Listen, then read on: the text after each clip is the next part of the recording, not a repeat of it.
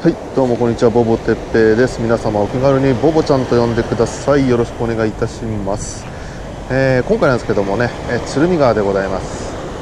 はい多分一番有名なのかな？まあここら一帯がまあかなり有名だということでえーまあ本日もですね30分フィッシングメジャーポイントということでやってきております。さあ、えーとりあえずね1ポイントにつき1つのゴミ拾いというのを始めました。やっぱビニールっすね。汚いな。さあ一つね。一つだけかもしれないですけどちょっとねゴミ拾いについてはあの、えー概要欄の方をご覧になっていただくと、えー動画になってますんで、まあ、多分ね一つだけかよっていうツッコミがね結構多いと思います。最初はね1ポイントにつき1袋拾ってました。想像以上に大変でね、えーそこから半袋にしました。でまあ100箇所以上ちょっとね拾って結果ですねこれ以上無理できないなということで 一つになりました。やっぱりね仕事の合間でやってるんでね動画の制作もね釣りも。釣りもね毎週行くとなるとね仕事しつつだとね 結構厳しいっすね、えーちょっとねやらかしました。何をやらかしたかというともう1個ボックスを持ってくるの忘れましてそっちにねちょっとスピナーベイトとか、えー強いルアーが入ってたんですけどスピナーベイト忘れちゃいましたね。やばい今日はちょっと忘れ物が多いな。すいません今度はえー、ジョイクロの尻尾を忘れましたまあいいな。えー、ちょっともうすでにやらかしてる感じしますね。ピナーベイトがないのは痛いんですけど、まあ、ピーカンなんでねどうせ。朝のコンディションが使えるのは多分開始2時間使えるかなっていう感じなんでまあ仕方ないですよね。えー、とりあえず、えーブルッシュータージュニアからいきたいと思います。結構ね地味なんですけどね。やはりこのテトラのねよれですよね。ここで来ないかなと思うんですけどね。いやー。ちょっとねキナーベイトがないのはちょっと個人的にきついのと。さらにあのジョイクロの尻尾を忘れるという大失態。まずいっすね。ちょっと弱いルアーしかない。一番強くてブルシュータージュニアかなっていう。ちょっとパイロットルアーがブルシュータージュニアしかないです。まあここら辺ね一帯もすごくいそうですし。あー。ウィードが伸びましたね。水中の何のウィードか分かんないですけど。ウィードの下からボーン出てきそうな。やっぱりここまでウィードがあるとスピナーベイト必要でしたね。やらかしたな。やらかしました。いわゆるねドワフターっていうやつなんでちょっとねボーリング使わないと釣れなそうっすよね。ただ、まあ、アフターの魚がこんなとこにいるのかって話ですけど、まあ、今年はあの暖冬だったんで、まあ、アフター回復はもうしてるだろうっていうね感じなんですけど。さあ想像以上にやらかしてます。スピナーベイトがないっていうのは痛いですね。かなりやらかしましたね。ブルシュータージュニアで来ないんでどうしあとは偶然ついてたメタルバイブドが次はねピッコロ。エバーグリーンのピッコロっすね。エバーグリーンピッコロ。まあ1.5メーターぐらい潜るクランクなんですけど足場がね高いんで。やっぱりこういったねテトラのよれついてそうなんですよね。テトラのよれにいるかまあ流進にいるか。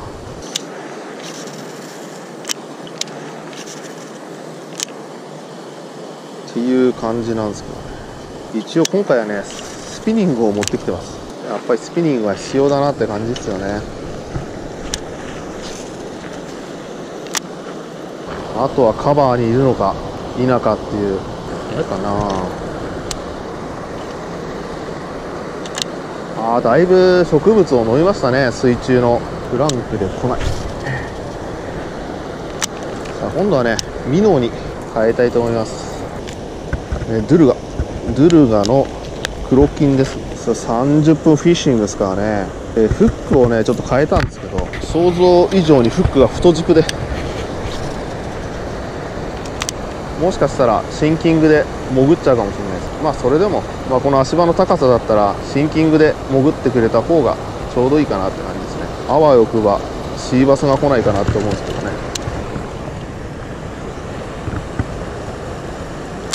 そうですね若干あそうでもないですね。サスペンドになってる。ちょっとねやっぱりこのテトラのよれって外せないですよね。ここがやっぱり、まあ、個人的にすごく複雑な流れになってると思うんで。こういうところでちょっと川のね魚ってこうトゥイッチが好きなイメージが勝手にあります。いや当たり前かもしれないけどドゥルがいい動きしますね。こういうねこうパニックアクションにもちゃんとこう反応してくれるんでストップもねピタッて入るし。いいルアーでございますね。いいとこんだからなここら辺やっぱ中なのかな。まあ中で釣れればえー、楽なんですけどね。そりゃそりゃ楽ですよ。といや釣れないね。まあ今回はね水位が前回あのすごい水位が低かったんですけど今回はね悪くないですね。ああいいと思うんだけどな。えー、ちょっと今更ですけどロッドはですねいつもの6.6フィートミディアムライトワールドシャウラ 1651F、えー、そしてリールがタトゥーラ SVTW2020 年モデルの一番ハイギア左巻きです。ラインが P35 リーダー25ポンド。なのかな？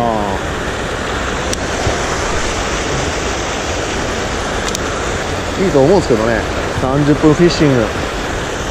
さあちょっとねスピニングをせっかく持ってきたんでスピニングで少しやろうと思います。さあホバストやりますえー、マイラーミノ。ですね。0.4g ぐらいのネイルシンカーさせて。もうこの辺でしょうよと。ですね。リールがストラディック CI4 プラス。2000番。はいはいはい。あかなりスローですね。そして意外と浅かったね。CI4 プラスの2000番。ロッドがゾディアス。ゾディアスの6.4フィート。ウルトラライトのソリッドティップ。これは確かにいれば一発で食っちゃいそうだけどこれでいないってことはもういないんだろうね。そんな感じがしますね。もうほぼほぼスラックシェイクで手前に引っ張ってくるって感じで良さそうです。えー、ラインがね4ポンド。クロロ4ポンドです。なるほど。このテトラの裏で出てこないってなるとやっぱり魚がいないっぽいですね。結構もうサーチベイトとしても結構使えそうっすね。結構もう時間経ってると思うんで。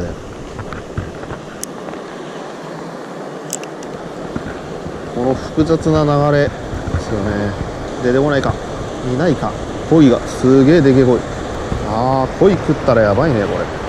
食っちゃいそうだもんな鯉が。すごい太い。何あの鯉っていうか太いね。鯉もスポーニングですね。さほど釣れないですね。もうさらに1頭ずつこれ ワームがずれてないかちょっと確認したらいいですね。基本一撃必殺のねリグだと思うんで。ないか。ちょっとね反対側行こうと思います。さあもう時間ってね早くてね。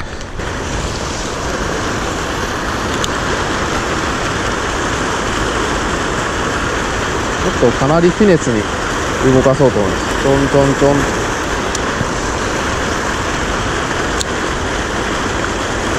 ちょっとここは張り出してるんですよね。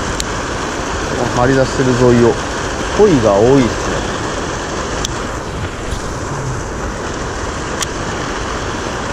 鯉が結構います。あ鯉が多いな。鯉が相当いますわ。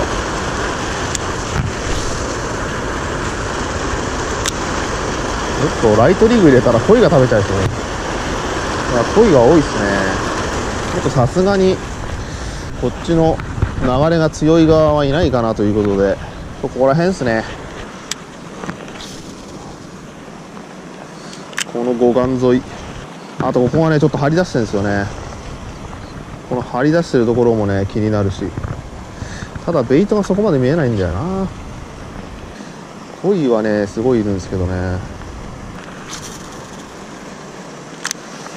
とりあえず、えー、ドゥルガで普通の活性の魚を狙っていますけど、ま、だここまで上流に入ってきてないのかな。まああんまり釣れてないっていうのはね確かなんですよね。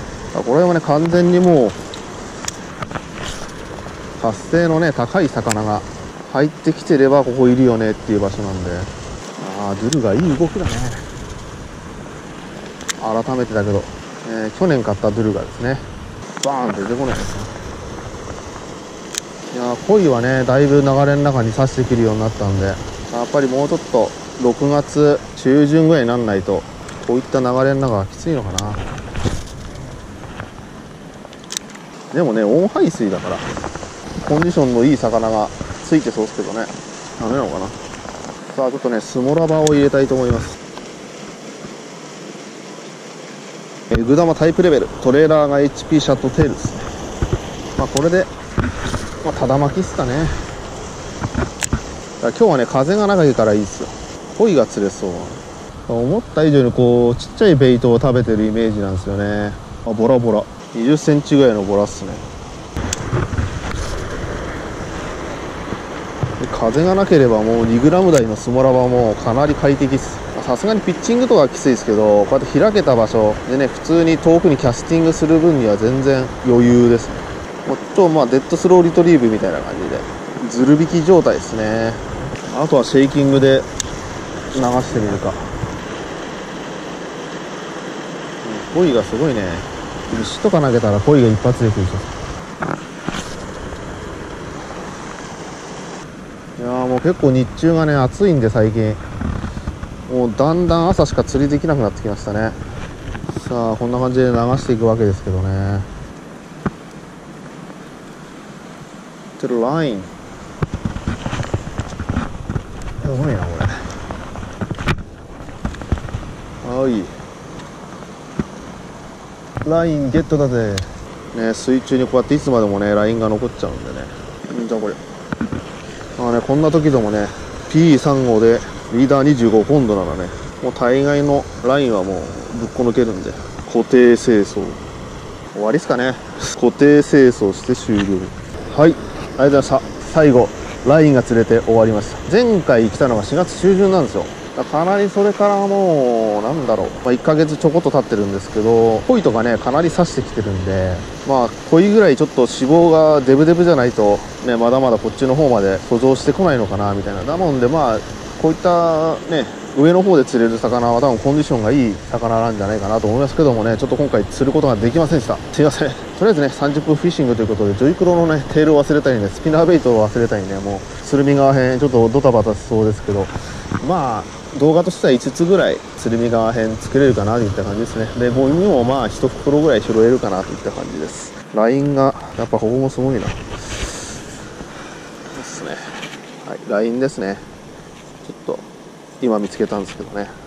ね、ここもね鶴見川でね有名なポイントですし、まあ、釣りゴミがあってもおかしくないんですけどね。だけどこうやって釣りゴミ、ね、特にラインとかねこれは風で飛ばされて、ね、上の遊歩道とかにね行っちゃってランナーの方がつまずいちゃったりしたらねもう多分それでもここもう立ち入り禁止になっちゃうと思うんで本当ね釣り糸だけはねとにかく残さないようにしていきましょう。早朝のおジュースは美味しいですね。ではですね最後までご視聴ありがとうございました。ボボテっていうことボボちゃんでした。もしですね僕のことを応援してもいいよという方はねまだの方はチャンネル登録よろしくお願いいたします。